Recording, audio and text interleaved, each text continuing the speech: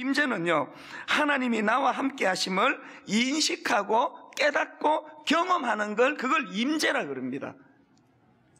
그러니까 하나님이 남, 나와 함께 하심을 내가 그거를 인식하고 살아가는 게 이게 하나님의 임재를 경험한다. 이렇게 이야기할 수 있는 거거든요.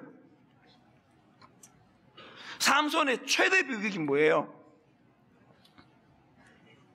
인식을 못하는 게 그걸. 하나님이 함께 하심을 인식하지 못하니까 이런 기쁘고 어제 제가 내 인생에 개입하신 하나님의 임재를 제가 인식하자마자 가슴이 터질 것 같은 감격이 기쁨이 용솟음 쳐올랐다면 삼손은 이 기쁨이 없었던 거예요. 여러분은 어떠세요?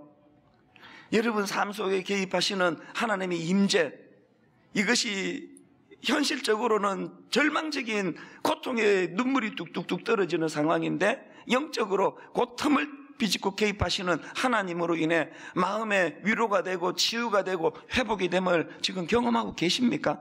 고난이 삼손에게 가져다 준 유익 중에 첫째가 뭐냐? 삼손은요, 고난을 통해 하나님의 임재를 경험합니다.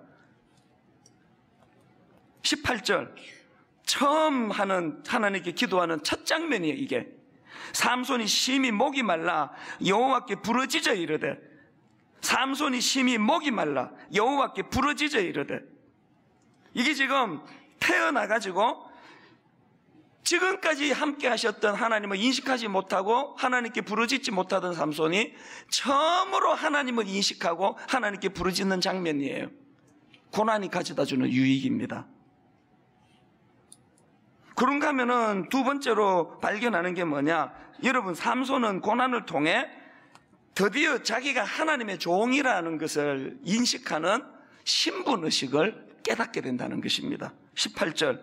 삼손이 심히 목이 말라 여호와께 부르짖어 이르되 주께서 주의 종의 손을 통하여 종의 손을 통하여 이 큰 구원을 베푸셨사오나 지금 목말라 죽을 것 같은 고난 속에서 삼손은 처음으로 주의 종이라는 자기 정체성을 지금 드러내고 있다는 사실이에요.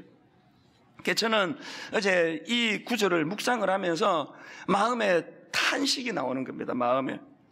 현실적으로 한국 교회에 크리스찬이 이렇게 많은데 현실적으로 한국 교회에 목사 전도사 얼마나 많습니까? 막 쏟아져 나오고 있는데 현실적으로 교회가 그 밤에 남산에 올라가 보면 막 빨간 십자가로 온 영토를 다 점령한 것 같은데 근데 왜 실제적으로 삶 속에서 하나님의 임재하심을 그것을 경험하면서 누리며 사는 사람은 이렇게 적은 건가? 여러분 솔직히 우리 다 삼손 아닙니까 삼손?